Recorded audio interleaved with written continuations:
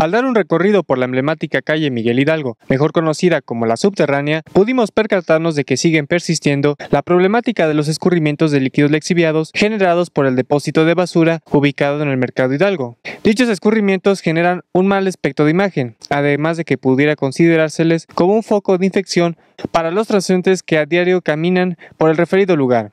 Seguimos nuestro recorrido unos metros más adelante, donde pudimos apreciar que hay escurrimientos de agua en la parte de las bóvedas, además de que la cantera de los arcos se empieza a desmoronar poco a poco. Asimismo pudimos apreciar cómo sobresalen algunas ramas de los muros y arcos, que si se dejan seguir creciendo podrían terminar por tronar la estructura. También nos dimos cuenta de que algunas paredes se encuentran grafiteadas y vandalizadas, quitándole la belleza que siempre ha caracterizado a dicha calle. En algunas zonas detectamos nidos de palomas, pudiéndose también considerarlas un peligro para la cantera, muros y pisos, debido a que su excremento desprendido, al combinarse con el aire, la lluvia, y los contaminantes ambientales, hace posible el crecimiento de microflora que favorece la producción de ácidos dañinos. Finalmente pudimos observar la presencia de algunos agujeros en las banquetas, cables colgando y lámparas que continúan apagadas, pudiendo ser útiles en muchos otros lugares. Es así como concluimos con nuestro recorrido, haciendo énfasis en que la subterránea es un gran icono para la capital, ya que por su belleza y estructura